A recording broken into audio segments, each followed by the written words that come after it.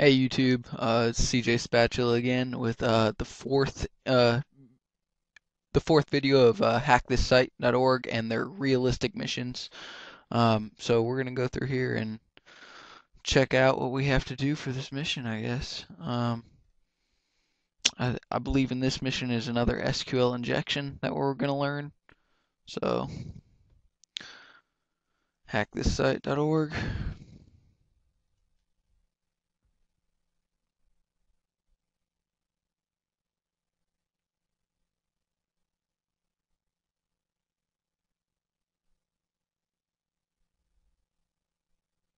Let's see what we got here.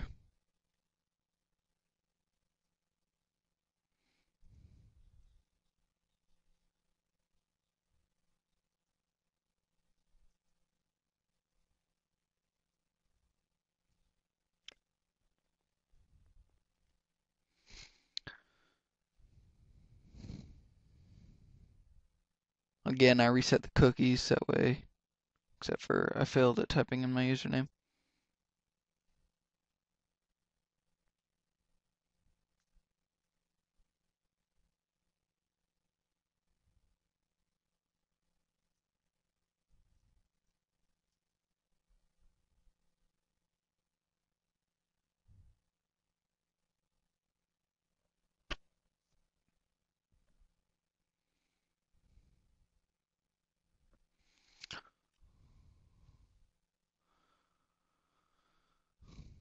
So let's go ahead, go to the realistic missions here, and since I cleared my cookies, I had to relog in and everything.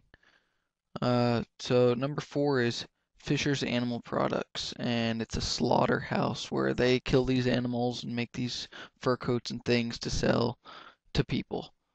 Um, so for this challenge, we have a request from someone.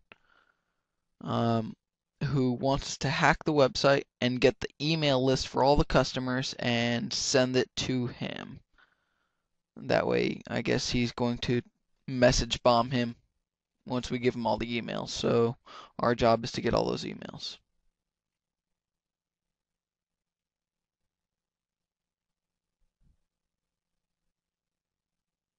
So when we go to the page here, we have a small um, text box area that we can add an email to the mailing list. Now this is how the current users have their emails into it. Uh, we have two links here. One is to their fur coats, which is, I mean, just descriptions and three regular pictures, and same with the alligator accessories. So what we're looking at here is when we go to these links, what I noticed first is it's getting a PHP function here. PHP question mark category equals one. This is telling me it could be vulnerable to SQL injection. So we're going to do a little more advanced tutorial on SQL injection here. Um, and to test this out, we're going to do an order by. Um, so we're going to test this by, after this, we're going to type order by 1 and see what we get. We get the same page. So we're going to check how many columns this uh, database contains. We're going to check how many columns this this uh, website contains by checking how many orders it lets us do. So order by one, it gives us the same page. Order by two, uh, still same page. By three, a little bit different. It's getting different every time. Four. If my computer would be a little bit faster here. Still the same thing, just a little bit different order. Five gives us nothing. So we know that there's four columns in the website because five gave us an error. So there's four columns in the website. So now we're going to select all. We're going to do a union select all. So union all select 1 comma 2 comma 3 comma 4 because we know there's four columns so we want to see all of them at once. So what we see here now is uh, the one thing that we're going to look at is numbers. So these two numbers by themselves are telling me that columns 2 and columns 3 are vulnerable to the SQL injection. Now to go further into uh, the SQL injection what we can do is replace either the 2 or 3 what we need. So we can do we can null out 1. So go ahead and null out 1. I'm actually going to uh, go for column 3. So we're going to null out 2 as well. For 3, we're going to put an asterisk. And for 4, we're going to null that out as well. And at the end, we're going to add from email. See what that gives us. There we go. Look at that. We found by blind SQL injection that there was a table called email um, that will give us all the emails in their mailing list. So now we can control uh, or we can highlight all of these emails here. Copy it. Go back to our guy here and his name is Save the Whales. So we go to our message center.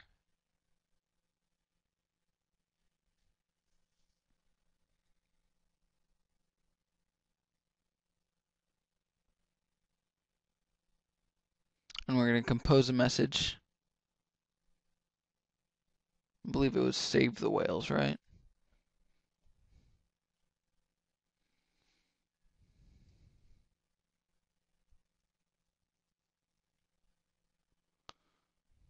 And for the message, just go ahead and put in all of the emails here and whatever you want here.